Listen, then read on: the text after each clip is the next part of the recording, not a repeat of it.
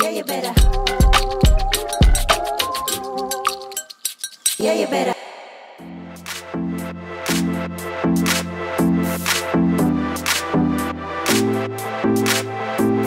आज हम किस टाइप के आईलाइनर को कैसे यूज़ करना है उसकी बात करेंगे अगर आपका हैंड स्टेडी नहीं है then pencil eyeliner is the best choice they are easy to use and shaky hands के चांसेस कम होते हैं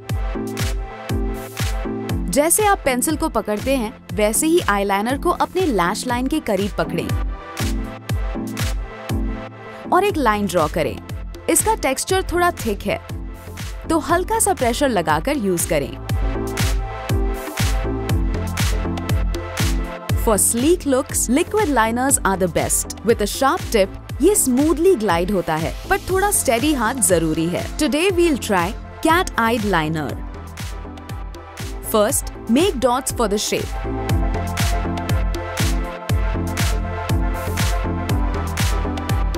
फिर ब्रश को कम प्रेशर से पकड़ते हुए डॉट्स को लाइन से जोड़ दें। अगर आपको लिक्विड लाइनर यूज़ करने में परेशानी होती है then gel liners are a good alternative इसका टेक्सचर लिक्विड लाइनर से थिकर है।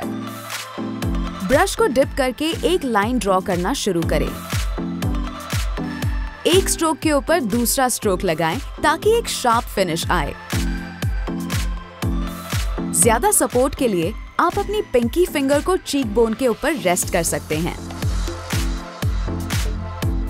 ये थी कुछ सिंपल ट्रिक्स एंड टिप्स जो आपको अपनी लाइनर लुक्स बनाने में हेल्प करेंगी। Keep it sleek see you next time bye